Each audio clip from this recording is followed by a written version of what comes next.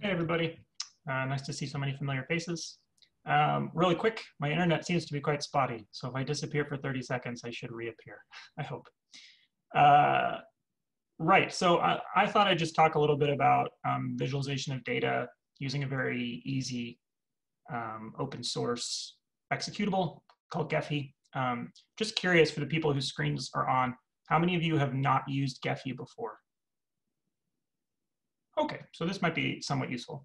Um, it's really cool if you're trying to visualize data that um, we're looking at the relationships between objects or items. So for example, similarity data or coincidence data, um, it's really built for that. It's also very nice pedagogically.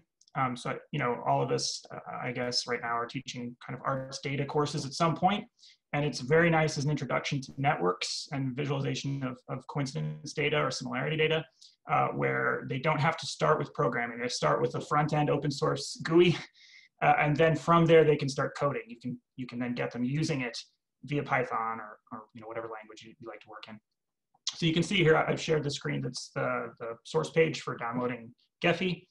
Uh, so what is Gephi? It's it's a graphing program essentially, and it, it depends on what kind of graph you want to you want to create. So you know, for example, we're accustomed to seeing graphs like the three you see on the left here. So there's hierarchical clustering in the top left. That's really canonical. And there's lots of programming languages and software um, for, for creating those sorts of uh, tree estimation visualizations. And then there's additive clustering below it, something we don't use as often. It makes fewer assumptions about the, uh, the nature of the data than hierarchical clustering. And then the one on the bottom left is a network where it actually permits uh, edges or relationships between many possible nodes instead of just two. So it's even less rigid, if you like. So you probably, if you haven't ever heard of Gephi, I would guess you've done hierarchical clustering before, and I would guess you've probably done additive clustering before, because those are the most canonical, because they make the most rigid assumptions about how the data should be structured and shaped. And then networks are very free uh, with lots of free parameters, so they're a little harder to estimate and it requires you know, more processing power, et cetera. This is why Gephi is, is quite useful. Uh, so you can download it here or you can go to, um, they have a GitHub page and you can download the source files. Um, they also have many examples of data sets that you can, you can play with to just get to know Gephi.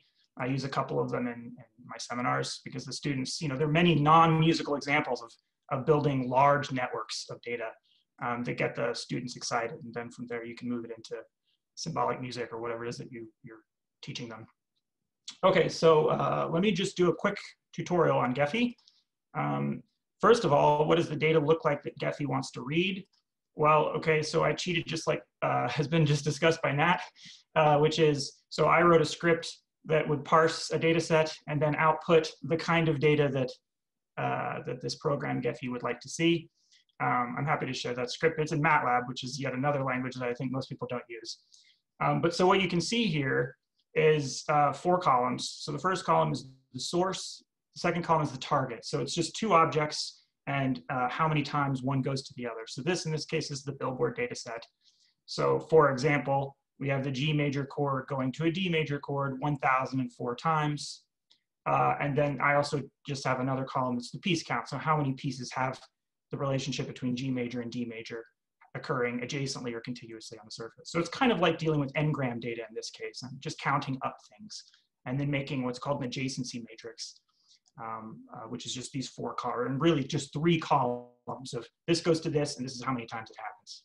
That's what Gephi wants. So it, it, could be similarity data. It could be from zero to one, one being, you know, they're completely identical, and zero being they're totally dissimilar. It just depends on what kind of data you're dealing with. So, okay, let's go back to Gephi. So this is actually just the file that, um, that I've just shown you imported into Gephi. There are three windows at the top left, the overview window, the data lab, and the preview.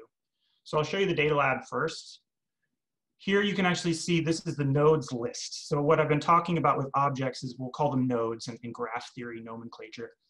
We have a node that's D, G major, for example, and, how many nodes are there? That's just how many unique types. You know, in this case, how many chord types do we have in our data set? Um, we also have an edges list. So here we, we see, here's the source, here's the target. This is actually the CSV file I was just showing you that I created with another programming language to create the data. So you have G major going to D major. This is called a directed network because say G to D will happen a thousand times, but D going back to G might only happen 800 times, right? So we call this a directed network. Uh, and then over here we have our weight. So this is how many times G went to D, since in this case I'm dealing with counts. Uh, okay, so let me go over to nodes. The first thing I'm gonna do, this is just a little Gephi thing, is I'm gonna tell Gephi, hey, make the label the name of the, the ID column. So I've just told it, call G major, G major when I look at the network. So now I'll go over to the overview and here's where we start building the network. Right now it's created a randomized layout. So it's just all the, all the nodes are the chord types with, with the edges being how often they go to one another, but there's, there's nothing else being displayed. There's no analysis being done. Well, there are many different layout algorithms that Gephi uses and that many network software programs use. Um, the most common one is called Force Atlas, uh, or at least one of the more conventional ones. If you start doing network analysis, you'll run into Force Atlas pretty quickly. So there are many parameters that you can deal with. So the, the, the center pane is just giving us the network, the visualization. The top left is gonna give us data about the network that we can manipulate. The bottom left is gonna give us the layout algorithm. And then on the, on the right here, we have filters and statistics so we can throw out things in the network as we go, and we can calculate statistics about the network as we go. Uh, so what I'll do here since I'm dealing with the billboard data set is I'll start by creating a network and I'll run these parameters. I'll let you kind of read about the various algorithms, you know, Force Atlas or um, OpenORD is another famous one. Um, but here I know that this is a good set of parameters for just starting to build the network. So now I'm running it. This is dealing with big data. So depending on your operating system, this can take a very long time, a very short time. So I just told it, start trying to build this network and the algorithm will just keep going and going and going until I tell it to stop. Um, so I'll back up here and let this and try to keep sort of being able to see the entire network um, as it grows. Eventually, I'll be happy and I'll say, I think the nodes are barely moving. They're barely changing their position. So I'll stop at some point. Um, so let's say right now I'm happy, I'm gonna hit stop. What are the kinds of things that I might do to sort of get to know the network and get to know the data? By the way, there are two different ways of thinking about these kinds of network analysis software tools. One is exploratory, one is confirmatory, to think back to statistician John Tukey. So often when I'm using the software, I'm thinking about it in a very exploratory way. I'm trying to get to know a lot of data and look for patterns. And then you can also use it in a confirmatory way where you have a specific set of five chord types that you want to look at or four patterns that are more or less similar to one another and you just want to visualize those in a much smaller network. Right now I'm looking at all of the chord types going to all other possible chord types, the complete two grams of the Billboard data set. So there's a lot of data here to stare at. Okay, so what are some, uh, what, what's a, the next thing that I might do? Um, from here, I'm gonna mess with the size of the nodes. Right now, all the nodes are the same size, but they could actually communicate something about the structure of the network. So if I go over here, I'll calculate a statistic called aided, uh, average weighted degree. So there are edges and nodes. The node is the, the, the chord type, and the edge is how often it goes to some other chord type, right? So I can change this to say, make the node size reflect how that its average weighted counts of all those edges it goes away from and comes back to, right? So some nodes will be very central and some uh, less central. And I want to calculate that uh, as, I want that to reflect, be reflected in the size of the node.